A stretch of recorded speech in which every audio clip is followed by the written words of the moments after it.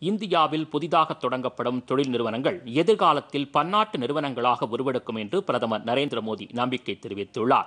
ஒடிஷா மாநிலம் சம்பல்பூரில் ஐஐஎம் என்று அழைக்கப்படும் இந்திய மேலாண்மை நிறுவனத்தின் புதிய நிரந்தர வளாகத்திற்கு பிரதமர் நரேந்திர மோடி காணொலி மூலம் இன்று அடிக்கல் நாட்டினார்.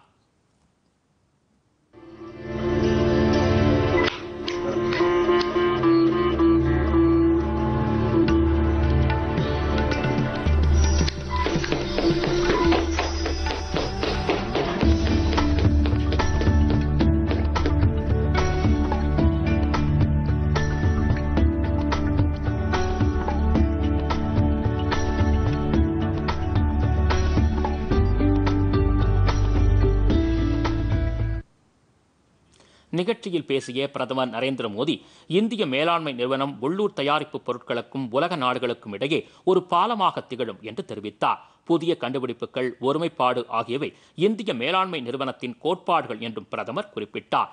ஏற்கனவே கல்வி நிறுவனங்கள் நிறைந்துள்ள சம்பல்பூரில் ஐஐஎம் நிறுவனத்தின் புதிய நிரந்தர வளாகம் அமைய இருப்பதன் மூலம் சம்பல்பூர் கல்வி நிறுவனங்களின் ஒரு முழுமையான தொகுப்பாக மாறும் என்றும் பிரதமர் கூறினார். இயற்கை வளங்கள் மிகுந்த சம்பல்பூர் இளைஞர்களின் புதிய கண்டுபிடிப்பு யோசனைகளால் எதிர்காலத்தில் சிறந்த சுற்றுலா தலமாகவும் மாறும் என்றும் டிஜிட்டல் தொழில்நுட்பத்தின் மூலம் கிராமங்கள் எதிர்காலத்தில் உலகளாவிய பணியிடங்களாக மாறும் என்றும் பிரதமர் தெரிவித்தார்.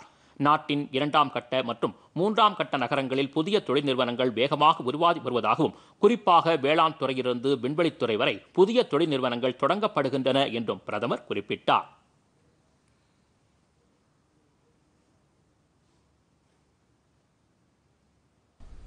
आईआईएम कैंपस के शिलान्यास के साथ ही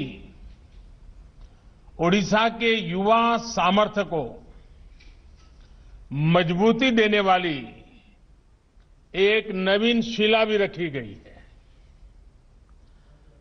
आईआईएम संबलपुर का परमानेंट कैंपस ओडिशा की महान संस्कृति और संसाधनों की पहचान के साथ ओडिशा को मैनेजमेंट की दुनिया में नई पहचान दिलाने वाला है।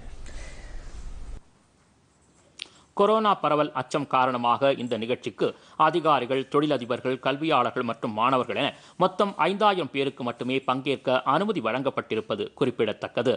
இந்த நிகழ்ச்சியில் ஒடிசா மாநில ஆளுநர் கணேஷி லால் முதலமைச்சர் நவீன் பட்நாயக் மற்றும் மத்திய அமைச்சர்கள் ரமேஷ் பொக்ரியால் தர்மேந்திர பிரதான் உள்ளிட்டோர் பங்கேற்றனர்.